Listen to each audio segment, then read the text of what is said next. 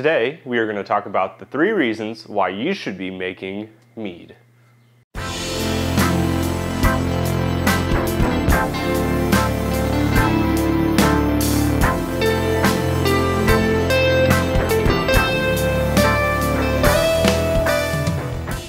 We are going to be talking about why mead is, is such a great um, alcohol to make for both beginners and advanced brewers because uh, of its versatility and its ease in a lot of ways. So I have three main reasons I'm going to talk about today. Um, the first reason, just getting right into it, is it is a, an, a minimum um, ingredient alcohol. And what I mean by that is you only really need three things in order to make a mead. Now, we're talking about a traditional mead in this sense, but uh, it's at its bare bones, it's three things. You need honey, water, and yeast. Of course, there are um, equipment things like that we have to buy, but I'm talking essentially about just buying your ingredients. Between those three, you can make yourself a traditional mead. And traditional meads are great in themselves. They are a challenge, um, but they are very, very good. Now, of course, you can jump into the next world and start putting in other ingredients. Um, and just like everything in the world, you can go totally down the rabbit hole and, and put 40 different, 40 different ingredients into your mead. Um, however, um, at its bare bones, because it is a simple ingredient um, alcohol, you only need those three things.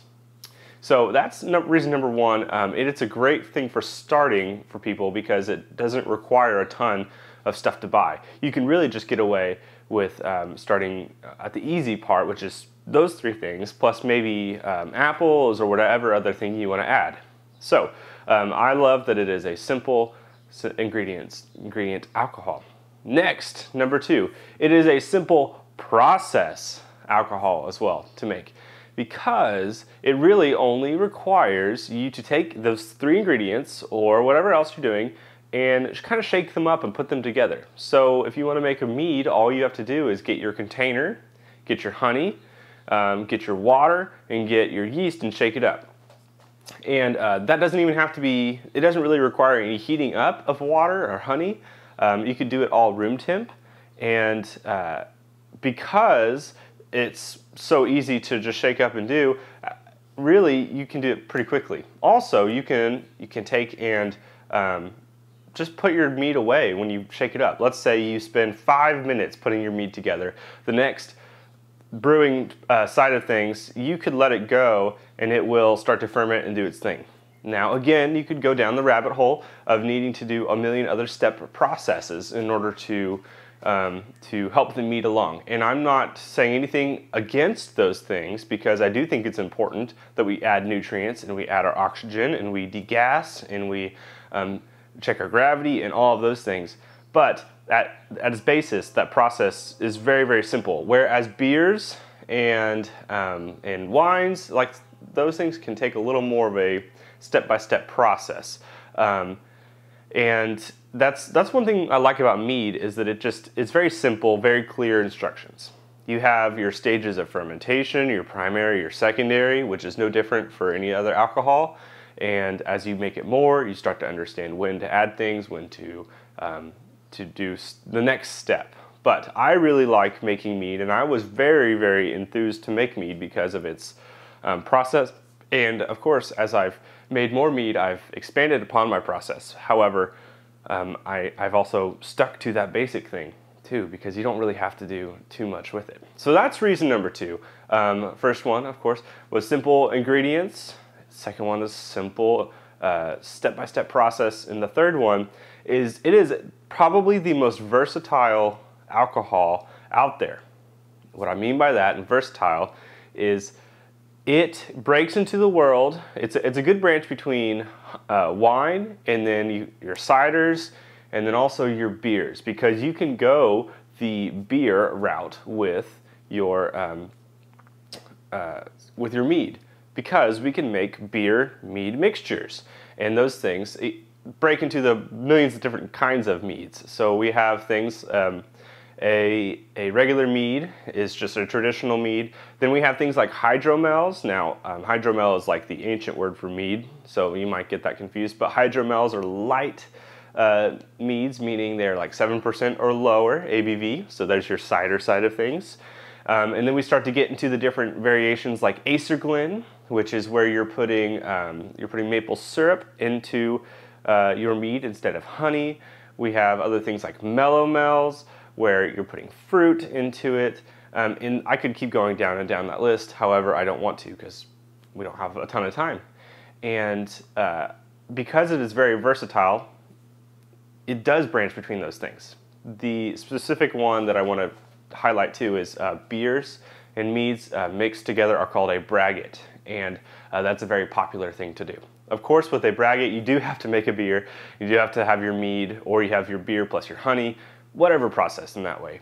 But you are mixing the two. And that's why I think it's very versatile. You have a nice mixture between all of these different kinds of alcohols. And if you are looking at making an alcohol for the first time, um, you can go out and buy a brewing kit for a beer or a wine or something and follow the step-by-step -step instructions. It comes in a big sheet that um, tells you exactly what to do. They don't really have this for mead yet. That's the biggest problem. No one has made a mead making kit that you can buy at brew shops. Instead, we have to go online and find the information on how to make a mead. Let's say you're sold on making a mead at this point. Let me walk you through the easy steps that I was talking about.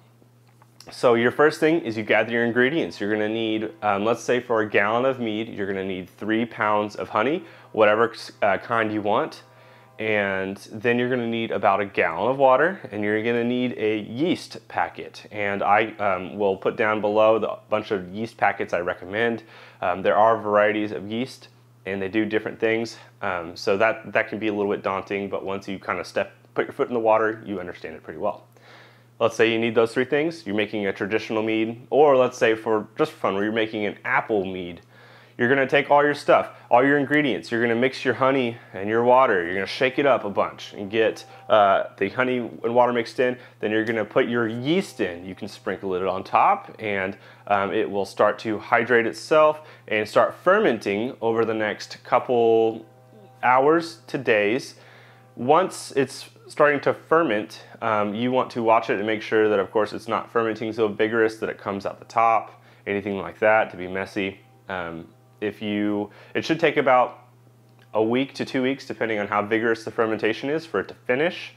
Um, in that time, you can do things like just shake it up a little bit, stir it lightly, and that will degas it, meaning it gets rid of the CO2. Um, if it is struggling to get going and you notice that your airlock that you put on top uh, as part of your equipment list, which is down below, um, is not bubbling very quickly in the beginning, um, it might need some yeast nutrient, which uh, I will include down there. Yeast nutrient is just a little simple thing to put in. You can put, some of that in there. Um, and then once that's all done, you've finished your primary stage. Now this is where the apples come in. You'll move it into a new container. You'll take your apples, you'll put them on top of that. When you put them on top of that, it's the secondary fermentation. You might kick up the yeast again, they start up again, you're getting your apple flavor put into the mead, you let that set for two to three weeks. Then uh, you take and you put that into a new container and you let it set for a while.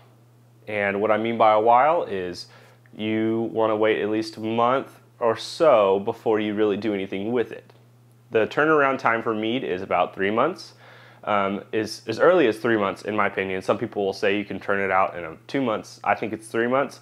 Um, then you can obviously go further, let it age longer, and that helps bring out other things as well.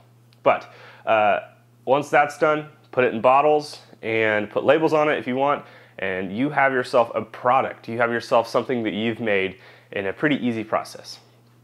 Comparatively, beers, you have to buy all the different ingredients. You have to boil the, the mash, you have to uh, boil the wort, excuse me, boil the wort and do all those things and, um, and buy the malt extracts. And that's fine, that's fun, but it is a little bit daunting. So this video is really meant for people who are starting to make an alcohol or want to make an alcohol. Uh, it is a very, very fun thing to do. It becomes a rabbit hole of, of making more and more, and I highly encourage making mead. Of course, I'm, I'm a little biased to mead because I run a channel called Man Made Mead. I make, I've made a bunch already. I've made about 36 different meads at this point, and uh, I hope to continue to make more. You guys have given me lots of great ideas. I find ideas online, and so I'm in this eternal loop of just making more and more mead. But I hope I have convinced you to make mead your three reasons, simple ingredients, simple process. And then it is a versatile, breaking into all styles of alcohol, um, kind of alcohol. So it, it kind of links them all together. It's also just very fun to introduce to your friends because um, lots of people haven't really tried mead. And so you can bring something new into their life. Now, uh, that means that you need to also try different kinds of meads. So what I am going to encourage you to do is to go out and buy a mead before you make one. Um, try to find one local to you, or just find one anywhere in your brew shop. Uh, excuse me, in your um, in your liquor store. So let me get you a good example of that. I have two examples here. This is one that I've made myself.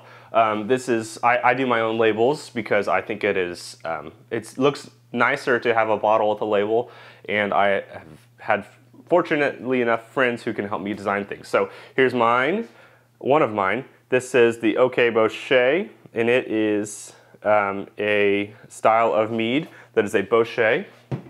Then here is from, this is the Artisan Meadery, and this is one of their bottles. Uh, this is a little bit bigger. It is a full wine bottle, but I bought this one in um, I, you know, I purchased one, this one at a liquor store. So ultimately, I like having my own meads, but then breaking out and trying other ones. So, uh, like I said, I hope I've convinced you. And ultimately, it is your choice to make whatever alcohol you want. But as somebody who has experience starting very, you know, new in the brewery brewing scene with uh, an alcohol, a long time ago, I when I first started is what I mean. I didn't have a lot of experience. I'd done a beer before, but then mead was really interesting to me because of all the things I've said. So um, I hope you've enjoyed. Check out my links down below. There's a Facebook where you can follow us and, and follow this community called uh, Man Made Meadery on Facebook. Check it out. Then there's a Patreon where you can help support me and uh, I have a whole slew of things about that and that will hopefully um, be another community to be a part of. And then I have Society 6, t-shirts, and various other things. Um, and finally, a P.O. box. All of these things are down below. The steps are down below. The things you need to start mead making are down below. And uh, just check it out if you have any interest in making mead. But I appreciate you guys uh, clicking on this video. I hope that you um, have a great day and uh, definitely hit that subscribe button if you are if you're interested in having more mead related content in your life. So I'll see you guys next time. Cheers.